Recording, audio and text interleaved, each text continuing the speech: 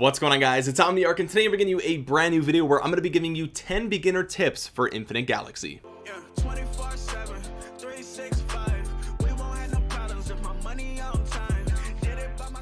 Can we just take a moment to appreciate how beautiful this game looks? Like the graphics are absolutely insane. This game the more I play it it reminds me of some sort of fusion between like Star Wars and Halo. It just gives me really cool sci-fi vibes and I love it. And obviously that's what they were going for. It's 4:30 and I, I had to make another coffee today so cheers so this video is both for players who have never played a game like this in this genre and also for players who have but you know are trying to get familiar with Infinite Galaxy in, in ways that is different. Tip number one applies to every game in this genre and that is always have all of your queues busy. What do I mean by this? You always want to be performing research in the research center. You always want to have your builders building or upgrading a structure. You always want to have the uh, shipbuilding queues full and building new ships over here. I'm, I'm guilty of not doing it right now. The reason for this is simple. Time is your biggest obstacle when it comes to getting power quickly. So using your time in the most efficient way possible is always the best play. Tip number two is that buildings can be automatically finished for free if there's less than five minutes remaining. So if you tap the one tap speed up button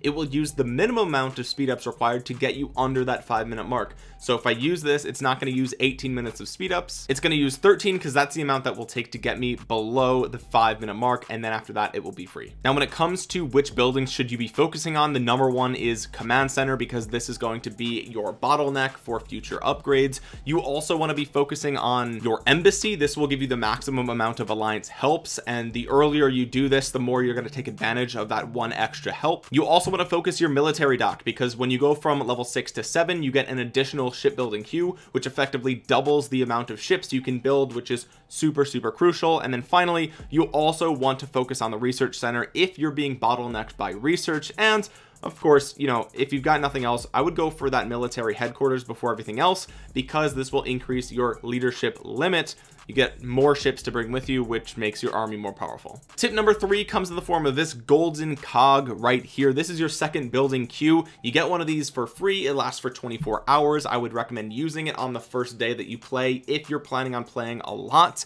because those early building times are very very short and you can blast through two at a time. It's really quick. But even beyond that I would recommend having the second building queue up at all times. If you need one you can go to the trade center and buy it in the shop. It's in the buff section for 200 corium or you can always purchase the permanent second building queue. Either way don't take this tip lightly. This doubles your building speed forever. This is an absolute must. Tip number four is join an alliance as soon as possible. Make sure it's active has a lot of members. And the reason for this is because of what we talked about before. Whenever you initiate a building upgrade or a research you can request help from your alliance. And if they go in here and they click that alliance help button you also will see it just so you know. It'll show up in this bottom left corner as well a little handshake. When your alliance members help you with your upgrades it'll actually reduce the amount of time that it takes. So it's literally free speed ups to join an alliance especially an active one with players online all the time. Alliance tech also gives you really powerful buffs once that alliance is well established. So you're going to be able to gather things faster. You're going to get more attack defense HP there's tons of benefits to being in an alliance. And make sure once you join one you want to teleport to where your alliance is building their base. So you can see here my spaceport is here. I do have my own alliance. It's called Holy Order. Shout out to Lux if you know you know. But you can see my alliance members teleported near me. The way that you teleport is you just tap on an open space you click teleport. As long as you have the teleport research completed it'll use some of your teleport energy and then boom you'll be right next to them so that way you can complete rallies and you're going to have to do rallies for some of your daily objectives and for other things throughout the game. Uh, rallies are really really important in this game so you want to make sure you're as close as possible to those players who are going to be doing it with you. Of course all of you are welcome to join my alliance. My alliance is on the server nebula 12 if you guys want to play with me just make sure you get past the introduction videos go into your settings click manage account then go to new game hit confirm and then you can create a new account in nebula 12 and that's where my alliance is. If you guys want to play with me uh, just make sure you come and join my alliance. You'll know it's mine because my youtube link is right in the alliance wall. Shameless plug i know. Tip number five is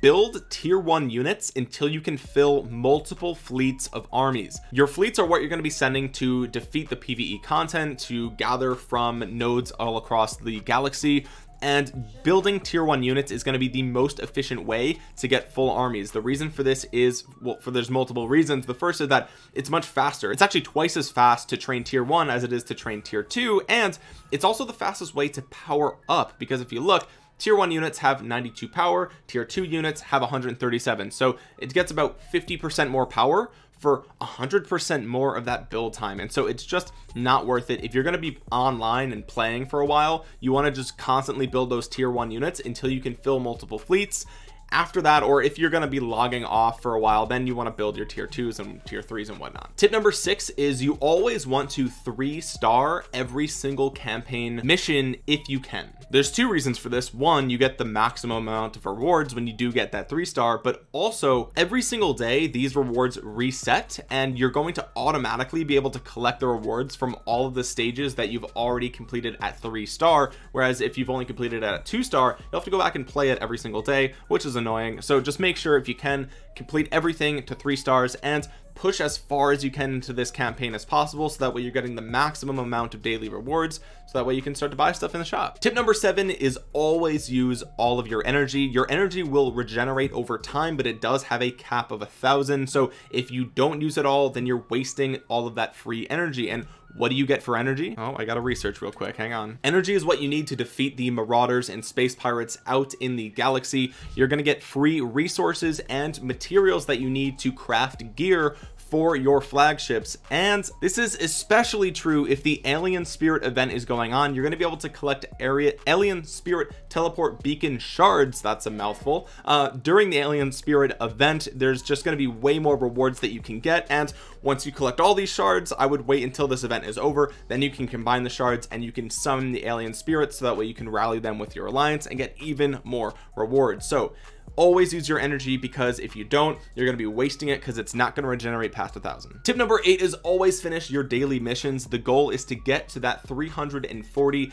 daily point reward. The reason for that is because the secret prototype device item is super super good. This item is what's going to give you possibly some free flagship blueprints. Those are pretty difficult to come by so you definitely want to make sure that you go ahead and do that. Uh, I've also have seen players actually get complete flagships from this item. So super good. You absolutely want to do it. Obviously the chances of that are very low. This is a randomized box but these are difficult to come by. So getting one guaranteed every single day is very very good. You especially want to defeat the tactical training base two times. You can only attack the tactical training base twice per day and there are rewards that you get for that. If you guys don't know how to go ahead and do that you go out here into the star system you click the little radar here and then you click special coordinates and there's some special coordinates here. So you can do the tactical training base twice a day go ahead and do that for your dailies. Tip number nine is focus your development and resources research first. The reason for this is because in the early game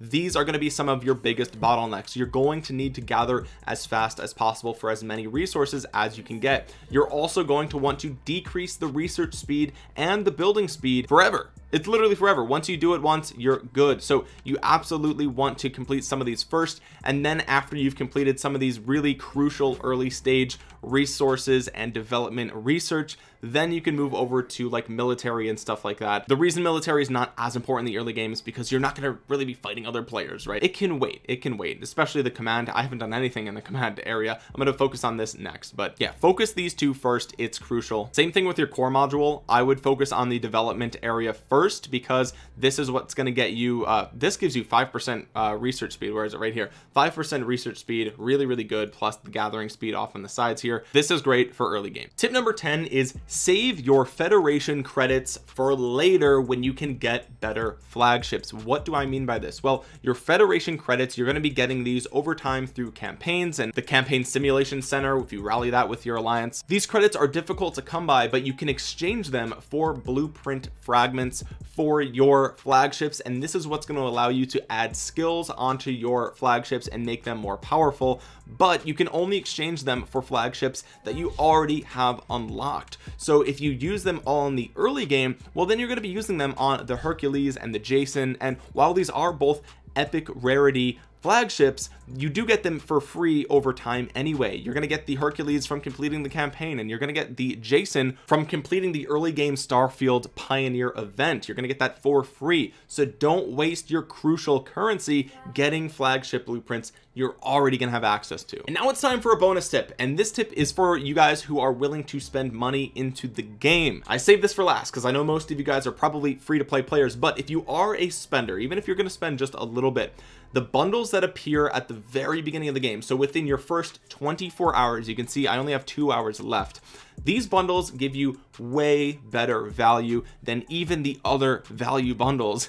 in the shop here right? You can see this is $74.60 only five bucks. I don't know where they got that that number from. But if you compare this $10 blueprint bundle to the blueprint bundle that appears in the first 24 hours it's night and day. You get almost double the reward so you look here. Here you get 2000 corium and 11 blueprint chests. For the same price you get 4000 corium. Again that's the premium currency and like 26 of these blueprint chests. So you get way way way more value. Again I know a lot of you guys aren't spenders but if you are going to spend the first couple of bundles that pop at the beginning those are going to be some of the best value. Also your first purchase gives you Laura for free and if she's your deputy you get two and a half percent research speed and straight up 6.4 percent flagship attack just across the board. So she is she's gonna be your best deputy right off the bat and that first bundle was like two bucks. It gives you 900 corium a bunch of speed ups for building and research and resources and then the five dollar bundle that shows up after that gives you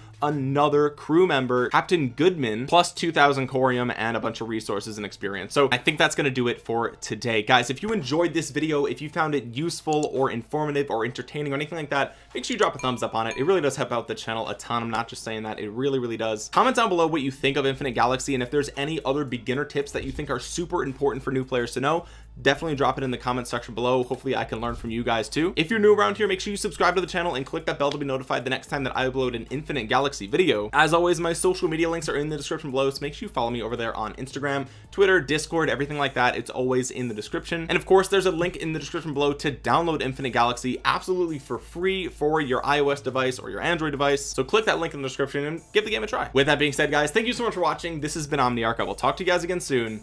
Peace